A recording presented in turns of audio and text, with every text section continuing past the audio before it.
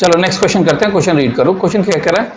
If small n small e tau and m respectively density यानी density का मतलब यहाँ पर एम से है number of free electron per unit charge की बात कर रहे हैं फ्री इलेक्ट्रॉन ठीक है? ई uh, चार्ज e है और टाउ रिलैक्सेशन टाइम है यहाँ पर कॉमा लगा दो। एंड एम क्या है? मास है।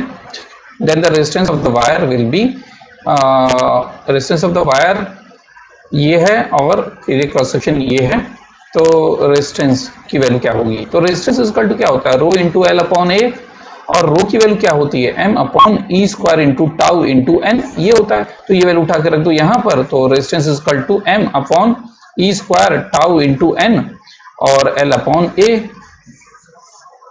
कौन सा ऑप्शन सही है? एम इंटू एल ऊपर एम इंटू एल ठीक है। यही है एम इंटू एल ऊपर, सिर्फ़ एम इंटू एल इसी में है।